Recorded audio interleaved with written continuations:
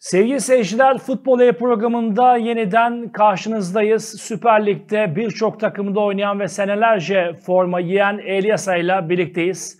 Kendisi Almanya'da yaşıyor ama sağ olsun bizi kırmadı, yayınımıza katıldı. Elyasa nasılsın? İyiyim, teşekkür ederim. Merhabalar. Sen nasılsın Atakan? Ben de iyiyim, teşekkür ediyorum. Nasıl yorumlarsın Süper Lig'i? İzliyor musun maçları, takip ediyor musun? Özellikle Trabzonspor'un müthiş bir çıkışı var. Puan farkını ciddi anlamda aştı. Nasıl yorumlarsın? Trabzonspor'la başlayalım.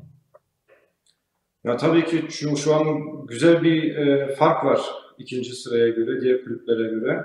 Trabzon bu konuda çok e, iyi bir konumda. Şampiyonluk adayı zaten en büyük aday bu konuda. E, son yıllarda da zaten sürekli e, taraftarlar vesaire işte bu sene bu sene diye söylendi ama e, gerçekten bu konuda e, hocasıyla takımıyla ilk defa e, şampiyonluğa ciddi anlamda e, yakın. E, tabii ki e, daha çok erken olduğu halde yani sonuçta ilk devre daha bitmedi. Ama e, şu an e, verdiği görüntüyle Trabzonspor e, gerçek anlamında e, şampiyonluğa doğru koşuyor. Dilersen gelecek haftaya bakalım. Ee, Beşiktaş'ta istediği performansı sergileyemiyor. istediği oyunları ortaya koyamıyor. Skorlar alamıyor. Ve son Giresunspor maçından sonra ciddi bir protesto oldu. Ee, liderin 16 puan gerisinde kaldı. Sergen Yalçın bırakıyorum dedi. Ahmet Nur Çebi kabul etmedi. Yeniden devam etti. Ve Kasımpaşa deplasmanında Kasımpaşa Beşiktaş maçını izleyeceğiz. Nasıl bir öngörün olur? Hangi takım galibiyete yakın? Kasımpaşa mı kazanır, beraber mi biter yoksa Beşiktaş mı kazanır? Şimdi tabii ki Kasımpaşa e, bu durumdan istifade ederek tabii ki galibiyete çıkacaktır. E, bu şekilde de zaten şu an hazırlanıyorlardır. Çünkü e, Beşiktaş ciddi anlamda yara aldı. Ama e, bana soracak olursanız, yani ben Sergen Hoca ile de birlikte çalıştım e, ve takımla olan bağından dolayı şu an e, futbolcuların aslında ortaya çıkıp hoca için oynaması gerekiyor diye düşünüyorum.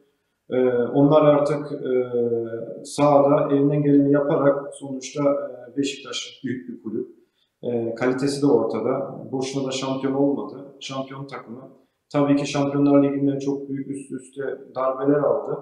Ama e, artık e, çıkış çıkışa geçme zamanı geldi diye düşünüyorum. Ve bu konuda e, takımın özellikle karakterini ortaya koyup e, maçı alması gerekiyor.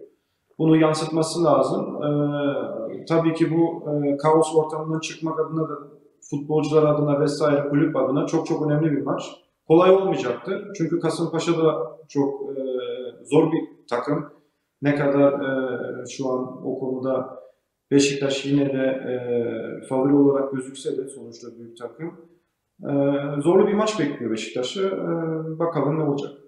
Kısaca bir Sergen Hoca'yı değerlendirir misin? Beraber çalıştınız, birlikte çalıştınız. E, nasıl evet. yorumlarsın? Sergen Hoca buradan çıkabilir mi? E, Sergen Hoca ile alakalı bir anın hikayen var mı? Çünkü teknik adamlığını yaptı. Yani e, tabii ki farklı bir aurası, bir e, e, vücut dili var. Yani geçmişte futbolculuğundan zaten e, takım arkadaşlarla birlikte etkileniyorsun. Çünkü gerçekten Türkiye'nin gelmiş geçmiş en büyük yeteneklerinden biriydi. E, aklıma böyle e, spontane ilk e, toplantı odasına girişi hatırlıyorum. Ondan sonra e, elini orada e, dolaba koyup Legend dövmesi çıktı. Orada tabii ki e, arkadaşlar yine böyle bir hafif bir gülümsedi vesaire ama gerçek anlamda e, Türkiye'nin hani gerçekten futbolun e, tarihin, Türkiye futbol tarihi önemli isimlerinden biri. E, şu ana kadar da bana soracak olursan hocalık olarak da kendisini geliştirmekte ve başarılı. Bu her zaman oluyor tabii ki. iniş çıkışlar oluyor. E, bana soracak olursanız bu bütün e, gündemdeki polemikler vesaire çok aceleci.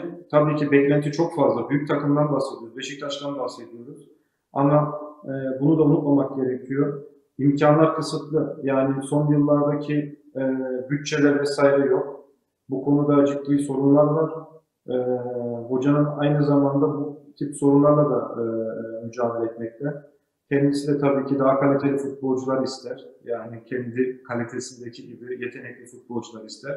Bunu küçümseyerek ya da kötüleyerek söylemiyorum e, oradaki şu an mevcut futbolculara ama e, eski o güç, bütçe vesaire yok. O sebepten dolayı oradaki aradaki fark da e, kapanmış bulunmakta ve farklı farklı kulvarlarda Şampiyonlar Ligi ile birlikte bu iş daha da zorlaştı. O sebepten dolayı sabır gösterilmesi gerekiyor diye düşünüyorum. Trabzonspor, Adana Demirspor, lider Adana Demirspor'u evinde konuk edecek. Nasıl bir maç bekliyor bizleri? Trabzonspor yine kazanır mı? Yoksa beraber mi biter? Yoksa Adana Demirspor sürpriz yapıp galibiyetle evine döner mi? Trabzonspor tabii ki favori. Az önce bahsettiğimiz gibi çok iyi bir gidişatı var. Bu konuda e, hiçbir şekilde e, puan bırakmak istemeyecektir. Ama Adana Demirspor da bireysel olarak da tabii ki iyi bir kadro kurdu ve özellikle büyük maçlarda e, çok farklı bir görüntü sergiliyor. Yani Trabzonspor bu konuda e, zorlu bir maç bekliyor açıkçası. E, yani ortada bir maç diyorum ben açıkçası. Beraberliğe yakın mı diyorsun? Ben öyle görüyorum evet. Beraberliğe yakın diyorsun. Fenerbahçe Rize Spor oynayacak. Fenerbahçe'de özellikle klas ayaklarını oynattığı zaman orta alanda Mesut gibi, Sosa gibi, İrfan Can Kahveci gibi, Mert Hakan Yandaş gibi oyuncular oynadığı zaman daha derli toplu oynuyor, daha göze hoş gelen futbol sergiliyor ve oyuna daha fazla hükmediyor. Nasıl yorumlarsın bu karşılaşmayı? Fenerbahçe Rize Spor maçı kendi evinde oynayacak kazanır mı? Yani Fenerbahçe'nin şu an kazanmaktan başka bir çaresi yok. Ee, son haftalarda iyi bir görüntü çizdiği düşünüyorum bu konuda. İyi sinyaller verdi.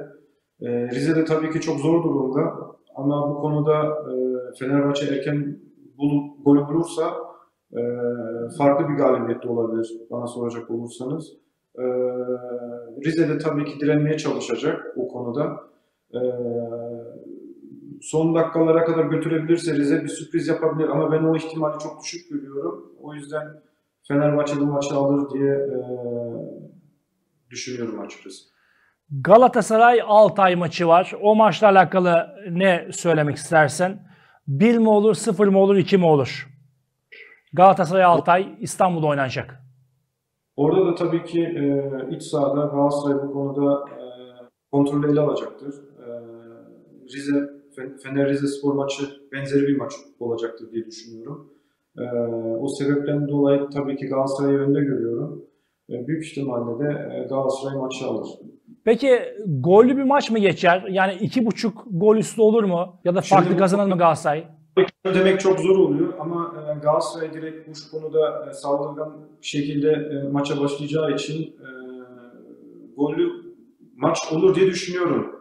Ama aynı tekrarlıyorum Fener maçı gibi erken dakikalarda ilk devrede özellikle o konuda e, golü bulursa daha da bir farklı skor olabilir diye düşünüyorum. Yani bence burada gollü bir maç bizi bekliyor.